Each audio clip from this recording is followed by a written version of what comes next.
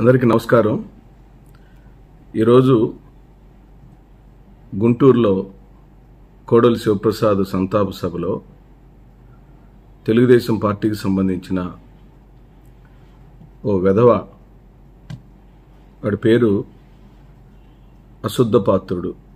ఈ రోజు నుంచి ఈ ఆంధ్ర రాష్ట్ర ప్రజలు ఉత్తరాంధ్ర ప్రజలు వీడిని ఈ గాడిదని అశుద్ధ పాత్రుడిగా పిలవాలని కోరుచున్నాం. ఎందుకంటే ఈరోజు ఆ సభలో ఆ వెధవ మాట్లాడిన మాటలను వీడియో చూసినప్పుడు సోషల్ మీడియాలో చూసినప్పుడు ఒళ్ళు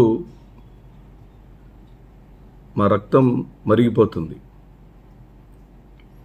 స్వయాన ముఖ్యమంత్రి వర్యులను పట్టుకొని వాడు మాట్లాడిన పదజాలం నరాలు తెగిపోయేలాగా ఉన్నాయి. అయినప్పటికీ ప్రజాస్వామ్యంలో సహనముతో మేము ఈ కుట్రలను ఎదుర్కోవాలి కాబట్టి ప్రజల ముందుకు ఆ వెధవ యొక్క అసలు స్వరూపం. ఎందుకింత ఇంత ఫ్రస్ట్రేషన్ వచ్చింది?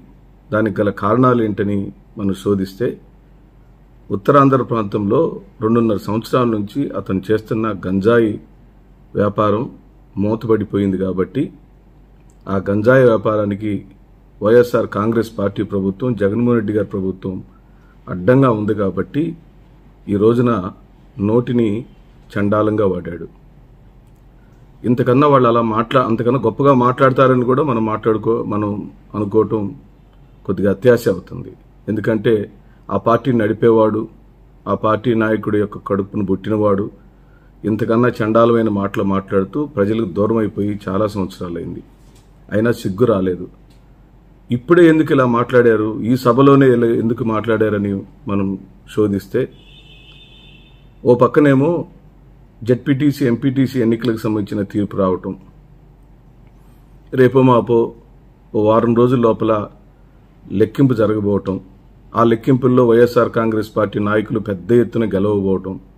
ఇది ముందుగానే ఊహించిన నారా చంద్రబాబు నాయుడు దండు దొంగల దండు చవట దద్దమ్మల దండు ఈ విధంగా పెట్టరేగిపోయి గౌరవ ముఖ్యమంత్రి గారిని పట్టుకొని రా అంటాం.